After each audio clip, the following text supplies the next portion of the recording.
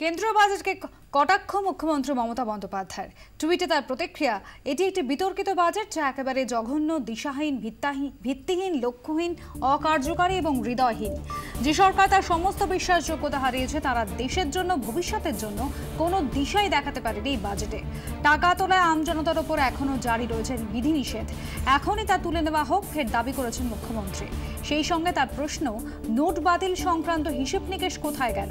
সবটাই বিভ্রান্তিমূলক শুধুই কিছু সংখ্যা এবং ফাঁপা শব্দের খেলা যার কোনো মানে হয় না।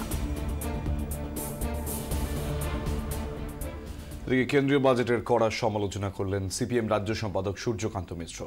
তাঁর টুইট, প্রত্যক্ষ কর কমেছে কুড়ি হাজার কোটি টাকা, এতে সুবিধে হবে ধনীদের। অপ্রত্যক্ষ কর বেড়েছে ষাট হাজার কোটি টাকা, এতে সাধারণ মানুষের উপর বোঝা আরও বাড়বে।